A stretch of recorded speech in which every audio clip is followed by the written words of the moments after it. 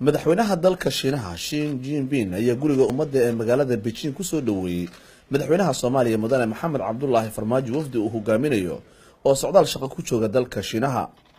Kulanka ay labada madaxweyne yeesheen ayuu madaxweyne shin jinping ku ammaanay madaxweyne farmaajo iyo xukuumaddiisa horumarkay ka gaareen dhinacyada dib u dhiska dhaqaalaha iyo siyaasadda. Madaxweyne farmaajo ayaa ku bogaadiyey dhigiisa shiinaha tallaabooyinka isbeddel kale ee uu ku horumarinayo waddankiisi uu qaaday. Somalia firmly supports the Belt and Road Initiative that foster a strategic cooperative. Soomaaliya waxa ay si rasmi u taageersan tahay hindisaha qaab dhismeedka kaabayaasha dhaqaalaha kaasoo ku dhisan hab iskaashi saaxiibtinimo faa'iido badan oo aan rajaynayo inaan xubin firfircoon ka noqon doono. Mudane madaxweyne aragtideeda ku aadan dhismaha mustaqbal ay wadaagaan afrika iyo shiinaha ayuu shirka iskaashiga afrika iyo shiinuhu tusaale wanaagsan u yahay taasoo muujinaysa sida shiinaha ay uga go-an tahay in saaxiibtinimo laga wada faa'iido ay wadaagaan labada dhinac.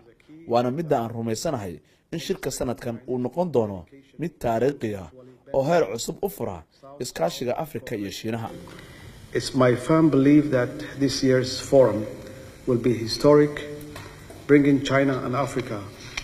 cooperation to a new level.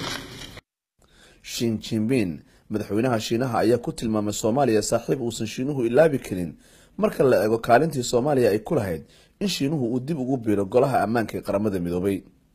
Waxaana madaxweynaha shiinuhu ku tilmaamay soomaaliya dalkii ugu horreeyay ee bariga afrika ee xiriir diblomaasiyad la yeesha dalka shiinaha gunaanadkii shirka labada dowladood ayuu shiinuhu soomaaliya ugu yaboohay dhaqaale lagu taageerayo amniga gargaarka iyo horumarinta dhaqaalaha soomaaliya. Halkan oo ah guriga ummadda ee shiinaha waxaa goordhow ku soo dhammaaday shir u dhexeeya dowladaha soomaaliya iyo shiinaha oo ay kala hogaaminayaan labada madaxweyne ee labada dowladood iyadoo ay ku helinayeen wasiirro labada dhinac ka tirsan. Shirka oo looga hadlay arrimo muhiima ayaa ugu dambayn waxaa lagu siixay heshiisyo dhexalgala oo labada dowladood dhex maray kuwaasoo kale ah dhismaha kaabayaasha dhaqaalaha oo ay kala sixdeen wasiirrada arrimaha dibadda ee soomaaliya shiinaha iyo weliba iskaashi dhinaca dhaqaalaha oo dhex mara labada dowladood oo iyana ay kala siixeen wasiirrada ganacsiga ee labada dowladood. Booqashada madaxweyne farmaajo ee waddanka shiinaha ayaa ififaalo wanaagsan u ah kumanaan dhallinyaro soomaaliyeed oo aan haysan shaqo kuwaas oo la doonayo inay ka faa'iidaan mashaariicda horumarinta ee la doonayo in waddanka shiinuhu uu ka hirgeliyo soomaaliya mustaqbalka dhow.